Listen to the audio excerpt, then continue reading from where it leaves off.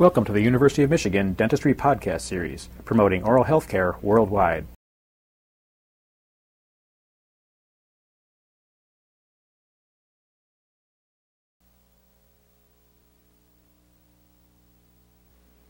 The master cast is a replica of the denture supporting area of the edentulous mouth as produced from a final impression.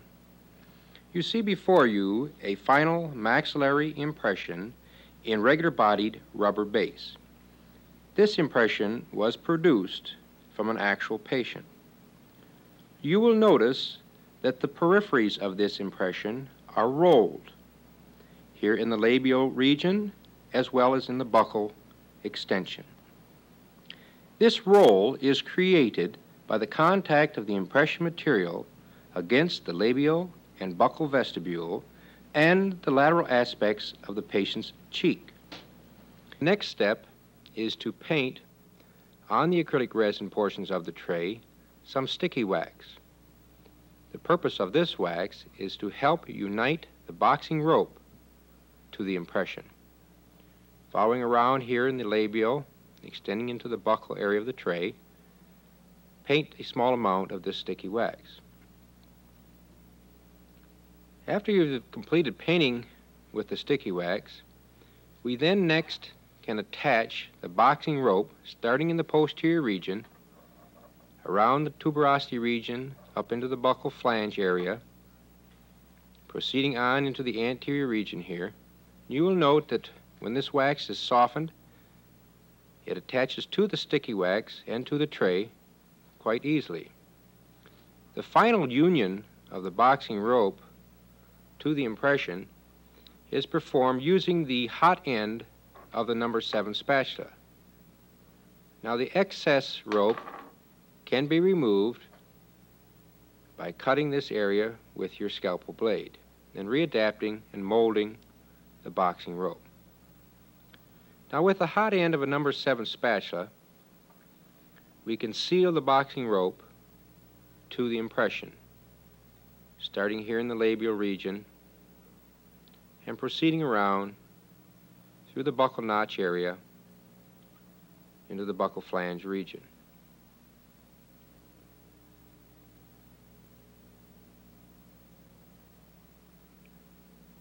We can continue this activity around to the other side and complete the wax to tray union.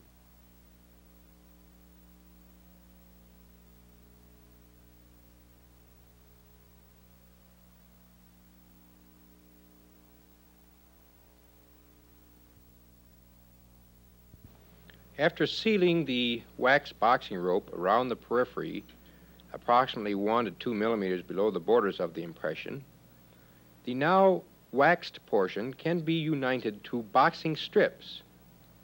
The boxing strip is passed through the flame in order to slightly soften this wax.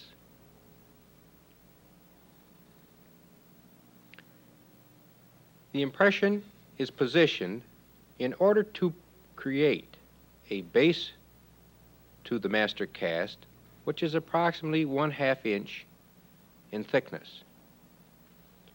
As you form the boxing strip around the boxing rope, you will notice that there is some excess to this strip. You can double this strip upon itself, and where it comes to rest, you can seal this again using the hot end of the number 7 spatula. After sealing the end of the boxing strip, it is joined to the boxing rope from the inferior aspect of the impression. This provides a much easier approach to these waxes for purposes of sealing. We continue around, joining the waxes to completion.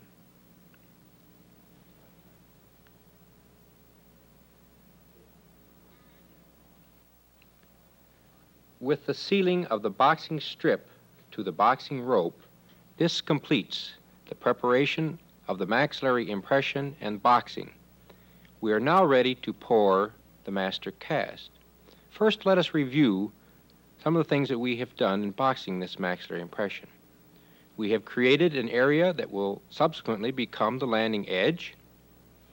We have also positioned the maxillary impression within the wax strip in order to create a half inch base height. You will notice here that the maxillary impression is positioned so that the superior border of the wax strip is approximately one half inch superior to the impression. It is sealed so the stone will be contained within the wax and it is now ready to pour the master cast. In boxing the mandibular impression and preparing the mandibular master cast, we also have the landing area to deal with. In front of you is the impression of an actual patient. You will notice that the peripheries of this uh, impression are rolled, both here in the buccal and in the labial region, and over on in the lingual area. We have a nice rolled margin, again created by the soft tissues of the mouth and the tongue. On the impression for this exercise taken from the mannequin, you will notice that we have the roll for the periphery, but we also have the landing area, particularly in the uh, tongue region. It is this landing area that we will be uh, removing and cutting free. Again, with the scissors, we will proceed down the lingual area here and cut away the rubber base that has recorded the landing area of the Visident model. You will notice we have already removed the landing area on the labial and buccal regions in order to save time, and we will illustrate just the removal of the rubber in the lingual area. The scalpel blade uh, also can be used to remove the landing edge reproduction.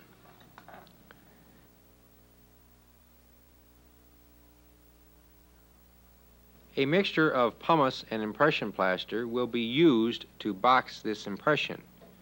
Place approximately one cup of pumice to three cups of impression plaster in the rubber bowl and mix to create a uniformity between these two stones and the stone and pumice.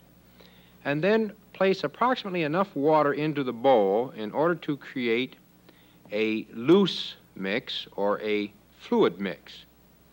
And spatulate this until the pumice and impression plaster is well wetted uh, with the water. When the mixture is uh, completed, uh, place a mound on a glass slab and then invert the mandibular impression into this mound of pumice and impression plaster.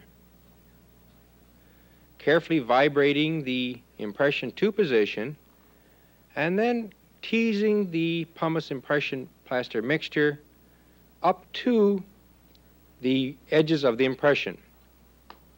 Approximately one to two millimeters of the rubber should be exposed. You will notice that if the mixture is a loose mixture, that one can very, very carefully tease this mixture up to the edges of the impression. There is ample time, working time, to, to develop the appropriate configuration in the pumice and impression plaster.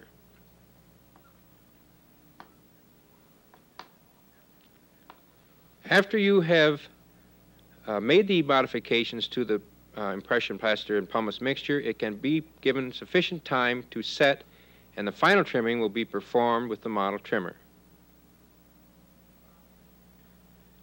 After the plaster is set, the union between the impression plaster mixture and the rubber base is carefully trimmed with a laboratory knife.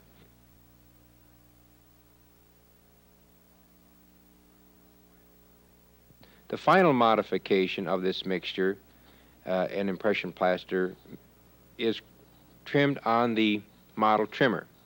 In order to save time, we have already trimmed that on a, another impression, and we will proceed with the boxing from this point on. You will also notice how smooth we have made the impression plaster and pumice mixture in the tongue space. And this is necessary in order to create a smooth area on the master cast. We now take and paint the impression plaster base with sticky wax. And this is to again facilitate the attachment of the boxing strip. Following around, applying this sticky wax. After this is completed, the boxing strip is attached to this base.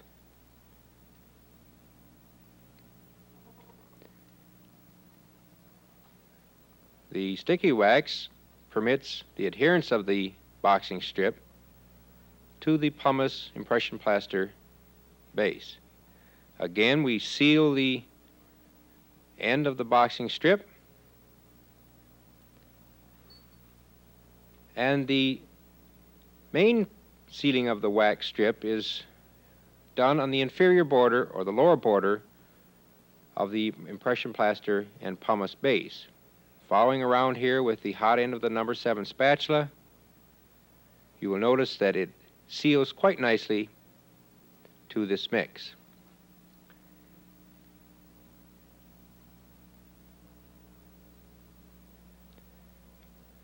And that completes the joining of the wax. One point we should bring out at this time is the relationship of the boxing strip to the impression itself. Again, the necessity for the base to be approximately half inch in height. You will notice that we have tried to carefully uh, position the impression within the boxing strip to create this one half inch in height to the base. The final step before being ready to pour the impression in dental stone is to paint on the surface of the impression plaster and pumice a tinfoil substitute. In this instance, we are using the Al-Cote, but any foil substitute is satisfactory.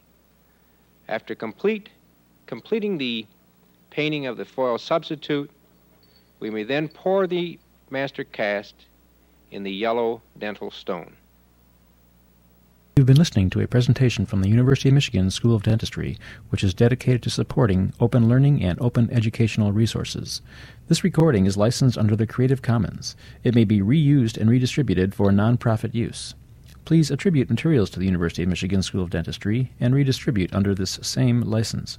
For more information on how this and other University of Michigan School of Dentistry recordings may be used, visit www.dent.umich.edu/license.